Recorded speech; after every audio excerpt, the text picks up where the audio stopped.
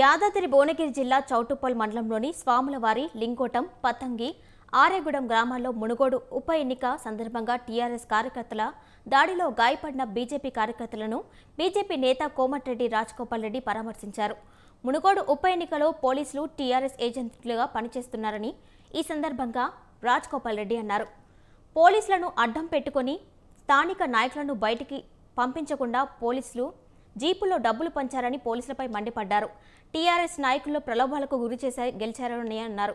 ఒక్క ఎమ్మెల్యేపై మంత్రులు ఎమ్మెల్యేలు కౌర సైన్యంలో పనిచేసి కేవలం పదివేల మెజార్టీతో నెగ్గడంతో సీఎం కేసీఆర్ సిగ్గుపోయింది అన్నారు.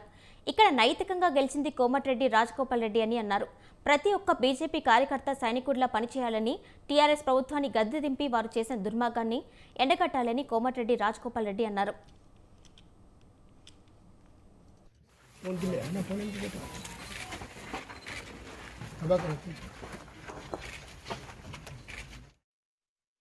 పంతంగి గ్రామానికి సంబంధించిన యాదయ మరియు జంగయ్య మీద ఈ టీఆర్ఎస్ గుండాలు దాడి జరిపి గాయపరిచిన సందర్భంగా వాళ్ళని పరామర్శిస్తాం రావడం రావడం జరిగింది.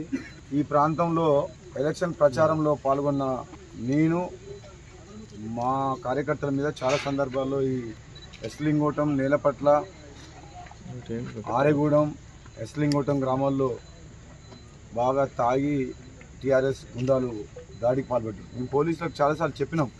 ఈ దుర్మార్గుడు పోలీసులు ఏంటంటే ఇప్పుడు టీఆర్ఎస్ పార్టీకి ఏజెంట్లుగా పనిచేస్తుండ్రు.